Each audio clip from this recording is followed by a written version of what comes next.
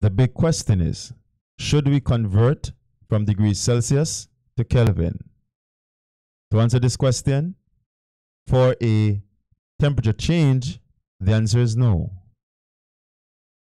However, for the gas laws calculation, then the answer is yes.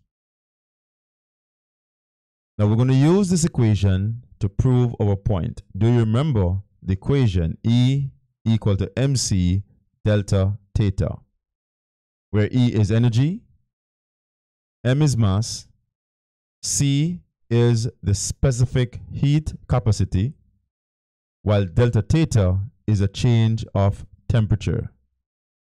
We're only going to focus on the change in temperature to prove our point. And so let's take, for example, we have two temperatures, the initial temperature of 30 degrees Celsius and the final temperature of 70 degrees Celsius. For a change in temperature, it is the higher temperature minus the lower temperature. And so we're going to convert this change in temperature by using our degrees Celsius and also our Kelvin. For degrees Celsius, it is 70 minus 30.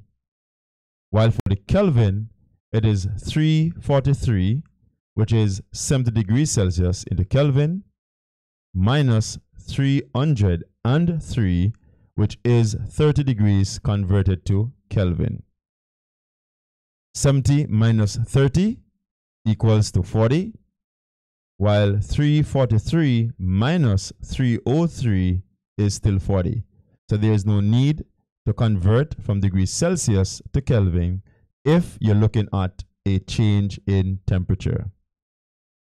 So I appreciate you watching this lesson and I want to remind you that not everything needs changing. Have a blessed day.